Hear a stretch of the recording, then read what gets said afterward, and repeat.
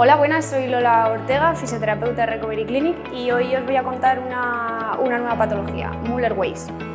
La patología de Müller-Weiss eh, principalmente se caracteriza porque es una patología que se, inicia en la infancia pero no se desarrolla hasta la edad adulta, más o menos a partir de 40, 50 años. Eh, bueno, se puede desarrollar también eh, en otras fases en las que, por ejemplo, ha habido algún traumatismo, alguna fisura, alguna rotura, pero casos raros.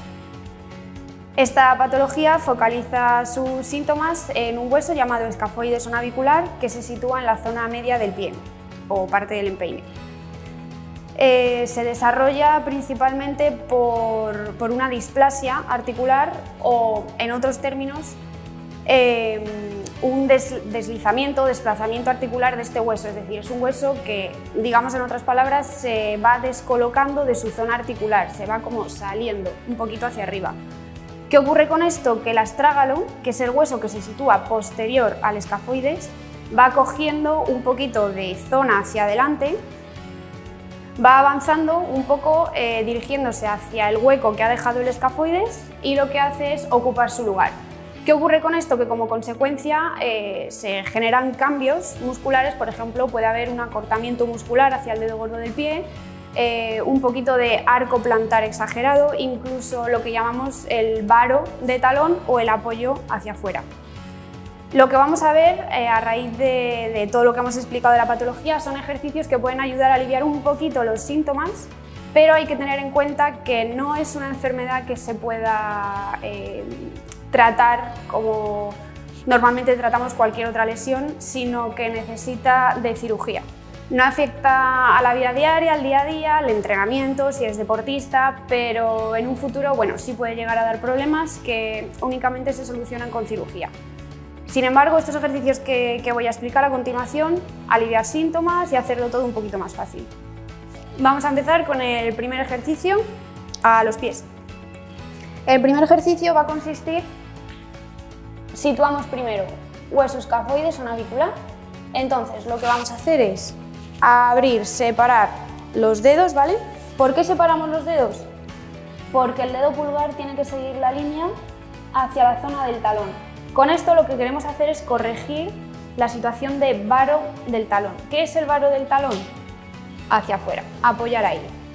Entonces, corrigiendo y haciendo este ejercicio de separación, lo que hacemos es que toda la zona medial de la planta del pie queda apoyada en el suelo, ¿vale? A esto le vamos a añadir balanceo. Sin separar los dedos del suelo. Con esto conseguimos un poquito de fuerza en el arco plantar y fuerza en los músculos del pie.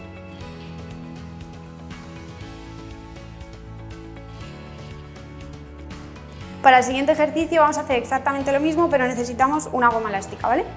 Vamos a colocarla entre los dedos gordos. Vale. La goma elástica lo que va a hacer es separarnos el primer dedo del resto de dedos. Y con esto hacemos lo mismo. Balanceo delante, balanceo a talón. Lo que queremos ganar con este ejercicio, incluyendo la banda elástica, es estabilidad, sobre todo en la zona del arco plantar. Hay que controlar en todo momento que los dedos no cambian de posición, es decir, que siguen paralelos en uno al otro. El siguiente ejercicio eh, lo vamos a centrar en el arco plantar. ¿Por qué el arco plantar he dicho que es tan importante? Porque puede sufrir alguna deformidad, digamos, entre comillas, a raíz de que el hueso navicular escafoides se haya salido un poquito hacia afuera.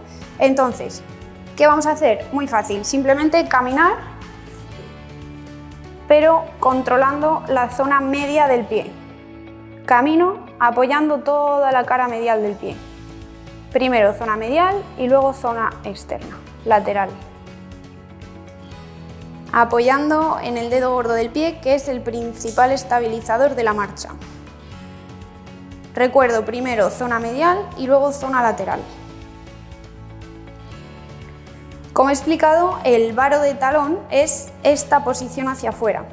Esto es lo que queremos evitar. Por lo tanto, los ejercicios que estamos haciendo los hacemos hacia adentro, en sentido contrario. Muy bien, para el siguiente ejercicio necesitamos una pelota blandita, da igual el tamaño, con que sea blandita es suficiente. La colocamos en la zona del arco, no en el centro, sino un poquito hacia afuera, que sobresalga. Y lo que vamos a hacer es apoyar talón y apoyar dedo. Vamos a hacer, abrimos, abrimos dedos y apoyamos. Con esto lo que estamos haciendo es reforzar el arco plantar. Repito, colocamos la pelota un poquito hacia afuera, en la zona del centro del arco, apoyamos talón, apoyamos dedo gordo y el resto de dedo. Talón, dedo gordo y resto de dedos. El siguiente ejercicio es muy sencillo, únicamente sentados con el pie apoyado en la pared y lo que vamos a hacer es hacer fuerza primero con el dedo gordo y luego los demás y soltamos. Dedo gordo y los demás. Siguiente ejercicio, banda elástica. La colocamos en la zona del antepié, los dedos del pie y lo que vamos a hacer es empujar hacia abajo y hacia lateral. Repetimos, hacia abajo y hacia lateral. La fuerza principalmente la estoy haciendo con el primer dedo. Coloco la goma, cojo la goma de tal forma que le doy resistencia y empujo hacia abajo y hacia afuera. Hacia abajo y hacia afuera.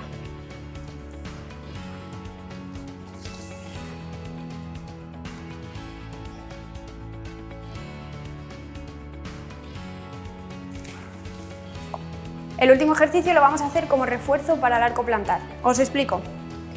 La posición inicial va a ser puntillas, empezamos con los pies colocados paralelos, nos ponemos de puntillas, pero no hacia afuera, sino hacia adentro, ¿vale? Podemos hacer esto varias veces, simplemente para coger el hábito. Y una vez que tengamos el movimiento cogido, lo que vamos a hacer es puntillas hacia adentro, y caminar. Y el peso sobre el primer dedo.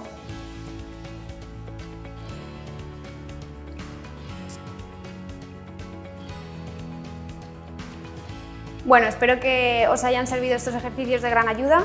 Recordaos que ante todo el primer caso, si, sentís ciertas molestias o tenéis dudas, eh, consultar traumatólogo, descartar todo con pruebas y, por supuesto, acudir al fisioterapeuta. Muchas gracias.